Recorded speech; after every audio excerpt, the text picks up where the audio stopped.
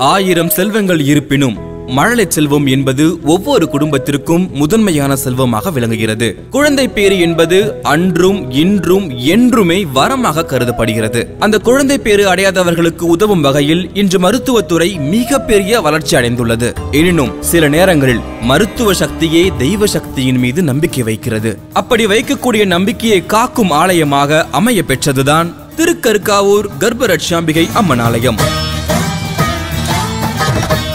கும்பகோணம் தஞ்சை வழியில் பாபநாசம் அருகில் அமைந்துள்ளது இத்திருக்கோவில். கருவினை காத்ததால் கருக்காவூர் என்ற பெயர். முல்லைவனநாதராக காட்சியளிக்கும் சுயம்புலிங்கமாக இறைவன் அருள்பாலிக்கிறார். திருமணமாகி கருத்தரிக்காமல் இருப்பவர்கள். கருத்தரித்தலும் அது தங்காமல் கலைந்து விடுவது சிசுவிற்கு உண்டான பிரச்சனை. குறைப்பிரசவம். கருச்சிதைவுற்று மகப்பேறு இன்றி தவிப்போருக்கும் அருள் வழங்கும் சிறப்பு தலம் இத்தலம். இத்திருக்கோவிலின் சிறப்புகளை மேலும் அறியும் முன் இத்திரு வரலாற்றை அறிவோம்.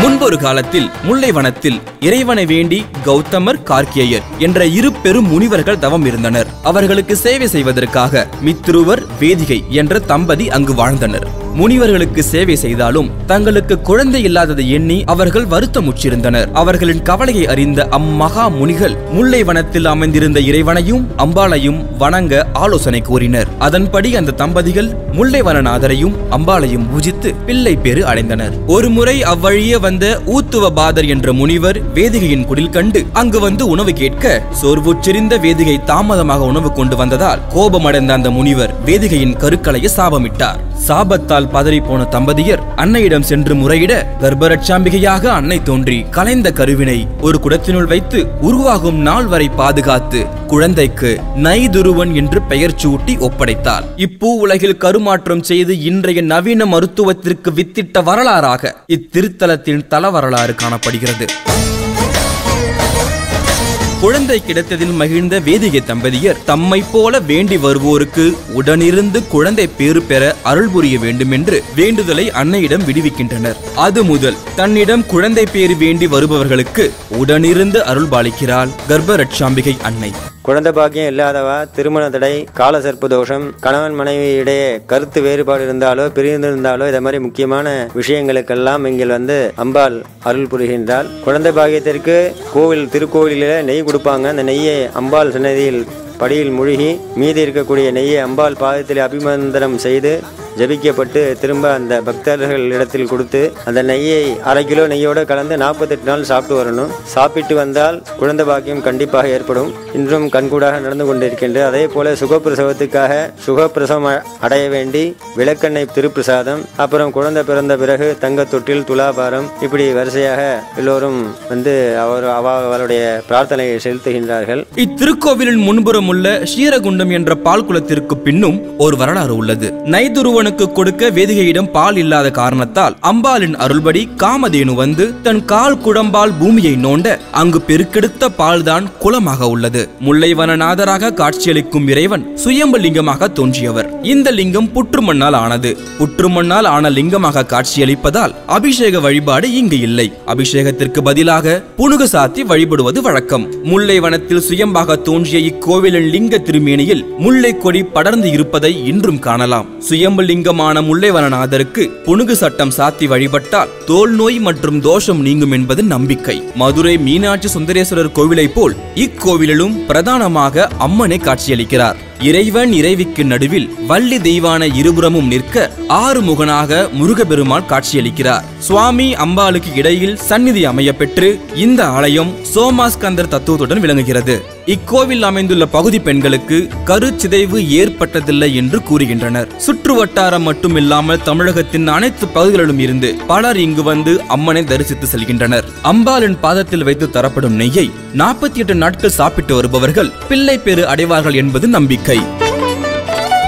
திருமண தடை நீங்கவும் பிள்ளை பெரு அடையவும் பெண்கள் இங்கு வந்து அம்மனின் சன்னதி முன்பு உள்ள வாசற்படியை நெய்யால் மொழுகி கோலமிட்டு தங்கள் வேண்டுதலை வைக்கின்றனர். தங்கள் பிரார்த்தனை பழித்ததும் குடும்பமாக வந்து தங்கள் குழந்தையின் எடைக்கு எடையாக தங்கள் சக்திக்கேற்ப வாழைப்படம் கற்கண்டு பணம் சர்க்கரை என துலாபாரம் செய்கின்றனர்.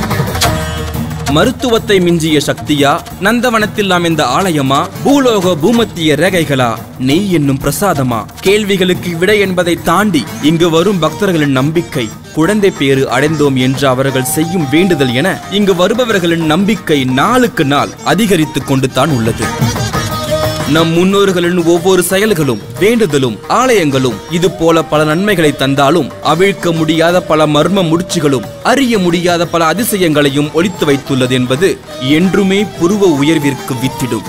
நேர்களே நீங்க இப்ப பார்த்த கர்ப்பரக்ஷாம்பிகை கோவில்ல கொடுக்கிற விளக்கெண்ணெய் எப்படி சுகப்பிரசவத்துக்கு மிக முக்கியமாக உதவுது அப்படிங்கறத பத்தி பார்த்தோம். நம்ம டாக்டர் மீனா ராகவன் என்ற மகப்பேறு மருத்துவ நிபுணர் ஆகிய நான் இதற்கான அறிவியல் பின்னணி என்ன என்பதை பற்றியும் நம்ம பெண்களுக்கு எப்படி சுகப்பிரசவம் ஆகிறதுக்கு நம்மளால் உதவ முடியும் அப்படிங்கிறத பற்றியும் இப்போ பார்க்கலாம் முன்னாடியெல்லாம் பார்த்தீங்கன்னா நம்ம பெற்றோர்கள் அவங்கள சார்ந்த பகுதியினரில் இருந்த காலகட்டத்தில் எல்லாருக்குமே சுகப்பிரசவம் நடந்துட்டு இருந்தது. வீட்லேயே மகப்பேறு இவங்க வந்து ஹெல்ப் பண்ணி அவங்களுக்கு சுகப்பிரசவம் நடந்திருக்கு. நிறைய நார்மல் டெலிவரிக்கான சான்சஸும் நிறைய பேருக்கு நடந்திருக்கு. இப்போ ஆனால் ட்ரெண்ட் எப்படி இருக்குன்னா முன்னாலேயே சிசேரியன் பண்ணுறதுக்கான டேட்டை குறிக்கிறதும் அதுக்கான தேவையான ஏற்பாடுகள் செய்கிறதும் ஒரு ட்ரெண்ட் ஆகிட்டு வருது. முன்காலத்தில் பார்த்தீங்கன்னா அவங்க அவங்க அவங்க வீட்டு வேலைகளை செய்வாங்க. வாசல் தெளித்து கோலம் போடுறதுலேருந்து வீடு பெருக்கி கூட்டுறதுலேருந்து துணி துவைக்கிறதுலேருந்து அந்த ஸ்குவாட்டிங் பொசிஷன் அந்த குத்து போட்டு உட்கார பொசிஷன்லேருந்து எல்லாமே அந்த எலும்பு கூட்டுக்கும் அந்த திசுக்களுக்கும் வலிவு கொடுக்கறதுனாலையும் தளர்த்தன்மை கொடுக்கறதுனாலையும் நார்மல் டெலிவரிக்கான சான்சஸை இன்க்ரீஸ் பண்ணி கொடுக்குது. அதை தான் நாங்களும் மருத்துவ நிபுணர்களாக சொல்கிறோம் உங்களோட தாய் வழி வந்த என்னென்ன சொற்கள் அவங்க சொல்கிறாங்களோ அவங்க என்னென்ன உடற்பயிற்சியை மேற்கொண்டால் நார்மல் டெலிவரிக்கு அதிக சான்சஸ் இருக்குதுன்னு சொல்கிறாங்களோ அதை தயவு செய்து கேளுங்க. அதுக்கு டெஃபினட்டாக அறிவியல் பின்னணி இருக்குது ஆனால் ஒன்று மட்டும் பண்ணக்கூடாது. அதிக பழு தூக்கக்கூடாது. ஏன் பழு தூக்கக்கூடாது? பழு தூக்குறதுனால கர்ப்பப்பை இறங்குறதுக்கோ இல்லை குறை பிரசவம் ஆறுறதுக்கோ வாய்ப்புகள் ஜாஸ்தி. ஸோ இந்த குடத்தை பயங்கரமாக தூக்குறது தண்ணி போய் பிடிச்சிட்டு வந்து அதிக பழு தூக்குறது பக்கெட் நிறையா துணி தூக்கிட்டு மாடிப்படி ஏறி இறங்குறது அந்த மாதிரி விஷயங்களில் கொஞ்சம் கட்டுப்பாட்டு தேவை. ப்ரெக்னன்சி காலத்துலேயும் பேறு காலத்துலேயும். ஏழு மாதத்துக்கு மேலே இருக்கிறவங்க தயவு செய்து தினைக்கும் நடைப்பயிற்சி மேற்கொள்ளுங்க. இருபதுலேருந்து முப்பது நிமிஷம் தினைக்கும் மேற்கொண்டால் உங்களோட த திசுக்களின் வலுத்தன்மை பெட்டர் ஆகி அதனால நார்மல் டெலிவரிக்கான சான்சஸ் அதிகமாக இருக்கும். அதே மாதிரி இந்த யோகா பயிற்சி முறைகள் மூச்சு பயிற்சி முறைகளையும் மேற்கொள்ளுங்க. இந்த டீப் ப்ரீதிங் பண்ணுறதுனால உங்களோட லேபர் பெயினோட சகிப்புத்தன்மை பெட்டர் ஆகும் லேபரில் சகிப்புத்தன்மை பெட்டர் ஆகிறதுனால உங்களால் அந்த லேபர் டைமில் புஷ் பண்ணக்கூடிய அந்த தாக்கம் அந்த சக்தி உங்களுக்கு இருக்கும். டயர்ட் ஆக மாட்டீங்க சீக்கிரத்தில். பேபிக்கு ரொம்ப ஆக்சிஜன் போகிறதுல பிரச்சனை இருக்காது. ஸோ மூச்சு பயிற்சி மட்டும் அல்லாமல் யோகா பயிற்சிகளை மேற்கொண்டால் நடைப்பயிற்சியை மேற்கொண்டால் உங்களுக்கு நார்மல் டெலிவரிக்கான ஜாஸ்தி சான்சஸ் இருக்குது இதை நம்ம கடைபிடிப்போம். மேலும் மேலும் நம்மளுடைய பெண்களோட நலமை பாதுகாப்போம். நன்றி வணக்கம். இந்த வீடியோவை வழங்கியோர் தி சென்னை ஸ்பெஷாலிட்டி கிளினிக்